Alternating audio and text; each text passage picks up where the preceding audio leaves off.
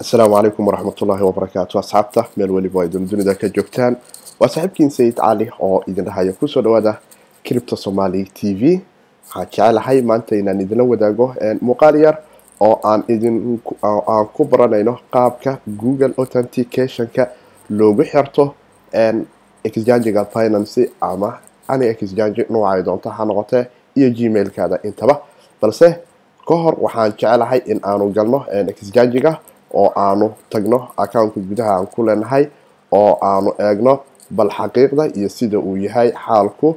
Marka aan ka soo laabano arinka na waxa aan jecelahay in aanu tagno later ayaan leeyahay quiskan qaabka brim schemka waxyaabahaasi oo dhan ah. Waxaanu tegaynaa waa kan oo isaga ayaaba noo yimid waxaan leeyahay google authentication ayaan doonayaa inaan ku xirto stepka koowaad waxa uu leeyahay q r code ayaad heli doontaa google authenticationka waxaad ka soo dejisataa app store ama google play labadaba oo waxaad soo dejisanaysaa authenticator ama google authenticator app nuucu doona ha noqdee. Waxaan hayaa oo iminka aan jecelahay inaan shaashada isna idinla wadaago oo idin arki doontaan telefonkaas aan ku hayo google authenticatorka oo aan is leeyahay iminka waanu arki doonaa qaabka uu appku u shaqeeyo.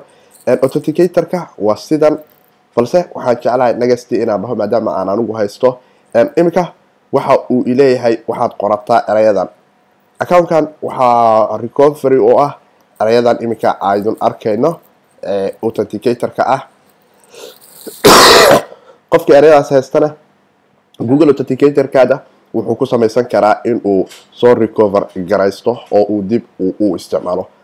Marka erayadan waxba kuma fadhiyaan hadda tole oo accountkan maaha account jiri doono oo waa la xiri doonaa. Balse si aan u qaadano cashirada waxaan isku dayayaa in aan noo sameeyo arinkii ahay in aan geliyo authenticationka.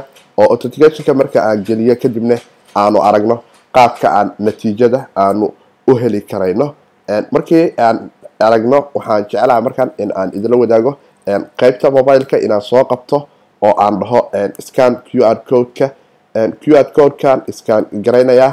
Marka aan iskaan gareeyo waxaanu arki doonaa qaabka aan isugu xiri doono oo horay ayaad ka aragteen oo malaynaa cripto exchange finance waan iskaan gareeyey wuxuuna isiiyey q r codekaas iminka aad arkaysaan.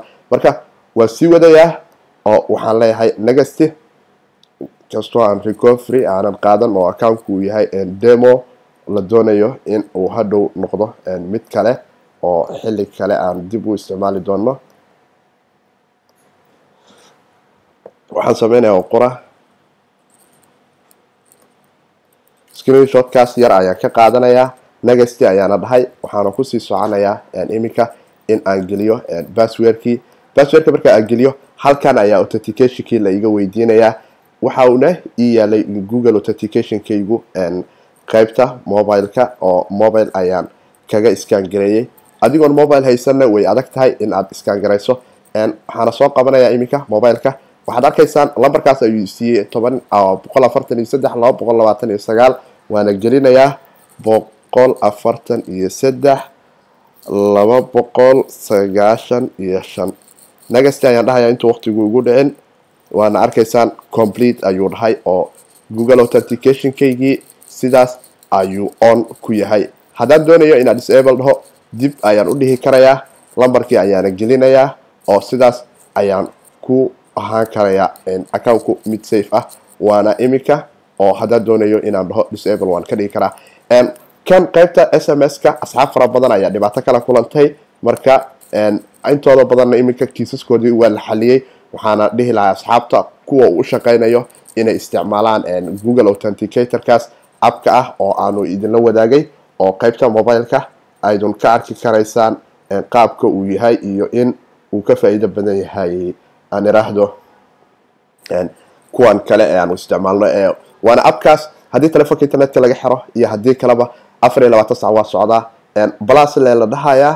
Blas marka aad taabat marka aad taabto meeshan blaska hoos ayuu wuxuu iga siinayaa muuqaal yar oo uu leeyahay scan q r code ama intermanual inter manual haddaan dhaho wuxuu u baahan yahay inaan lambarkii gacanta ka geliya ciwaankii iyo wixii aan qorqoro oo halkan piga lambarkii ay siiyeen recoveryga haddaan idin tusayo kale aan ku qorqoro oo sidaas aan u sameeyo ama in aan sameeyo in ciwaankaas kale aan geliyo. Hadda kan disable ayaan ka dhigayaa oo waxaan dhahayaa google authenticatorkan disable caray oo passwordkii ayaan dib u gelinayaa sababtoo ma doonayo accountkaasi in la helay oo muuqaalkiisu uu public yahay.